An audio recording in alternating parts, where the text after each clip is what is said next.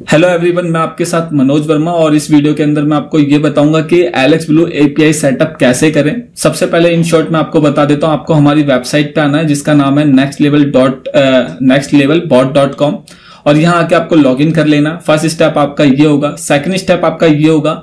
आपको ये इस वीडियो के लिंक इस वीडियो के डिस्क्रिप्शन में आपको ये पेज का लिंक मिलेगा। आपको ये पूरा मेल यहाँ से लेके यहाँ तक कॉपी कर लेना है। इस मेल के अंदर आपको बस थोड़ा सा चेंज करना है। यहाँ पर अपनी क्लाइंट आईडी डालनी है और यहाँ पर आपको अपनी एलेक्स ब्लू की मेल आईडी डालनी है। और इसके अंदर ये रिडायरेक्ट यू है, ये बहुत इंपॉर्टेंट है। इसी की वजह से आपको ये मेल करना पड़ रहा है। और इस मेल आईडी पे आपको सेंड कर देना है। जब आप इस मेल आईडी पे सेंड कर दोगे तो एलेक्स ब्लू से आपको मेल आएगा कि आपकी क्लाइंट आईडी ये है और सीक्रेट सॉरी आपकी एपीआई की ये है और सीक्रेट आईडी ये है। और उस पर हमने ये वाला रिडायरेक्ट यूआरएल सेट कर दिया। जब आपको मेल आ जाता है, उस मेल को ओपन करना है मेल को ओपन करने के बाद आपको इस, यहाँ पर क्लिक करना है। जैसे मैंने क्लिक करा और आप अपने इंटरनल डैशबोर्ड पे पहुँच जाओगे। ये रहा हमारा इंटरनल डैशबोर्ड यहाँ जाने के बाद आपको यहाँ पर लेफ़्ट साइड में फोर्थ नंबर पे एपीआई क्रेडेंशियल दिखेगा। आपको यहाँ पर क्लिक करना है। जैसे आप यहाँ पर क्लिक करोगे आपको ऊपर के सारे ऑप्शन दिखेंगे। जो एक, दो, तीन, चार, पाँच, छह, ये छह के छह ब्रोकर दिखेंगे।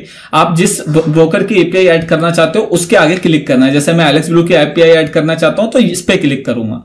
जैसे मैं इस पे क्लिक करूँगा, मेरे सामने यहाँ पर साइड में एक बॉक्स आएगा, जहाँ मैं अपना कोई भी नाम डालूँगा एपीआई का। कोई भी नाम आप अपनी पसंद से चुन सकते हो। जो एलेक्स ब्लू ने आपको क्लाइंट आईडी भेजोगे आपकी क्लाइंट आईडी आपकी एपीआई की होती है एलेक्स ब्लू की तरफ़ से, वो आपको ऐड करनी है यहाँ पर।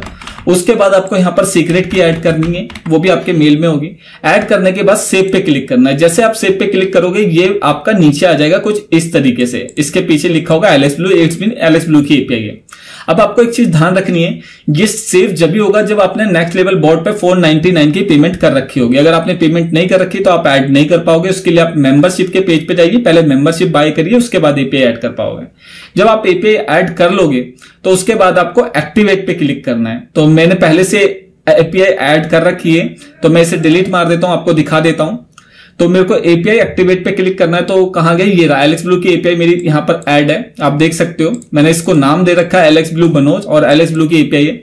तो आपको ये कुछ इस तरीके से शो हो रहा था, वहाँ पर इस तरीके से आपको एक्टिवेट पे क्लिक करना है। ये तो थी अभी तक वन टाइम प्रोसेस एक बार स्टार्टिंग में आपको ये करना होता है।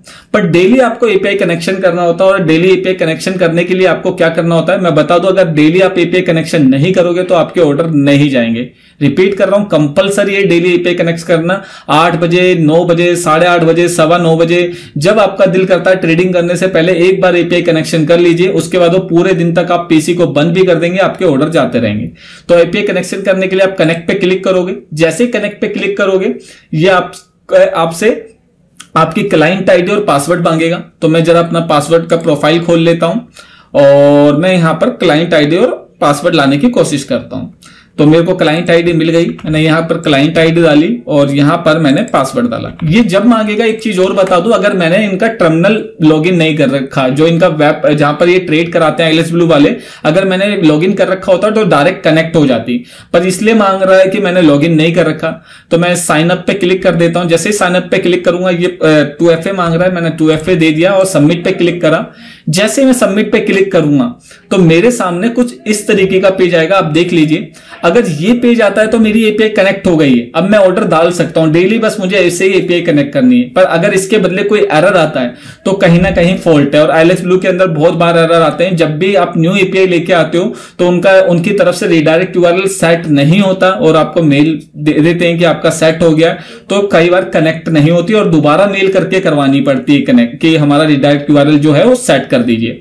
तो आई होप आपको पता चल गया होगा क्विक वीडियो है। मेन थिंग जो है, ये पेज है। इस पेज का लिंक आपको डिस्क्रिप्शन में मिल जाएगा। उस लिंक को कॉपी ओपन करके आप इस फॉर्मेट को कॉपी करके उन्हें मेल कर दीजिए। Thank you for watching this video and bye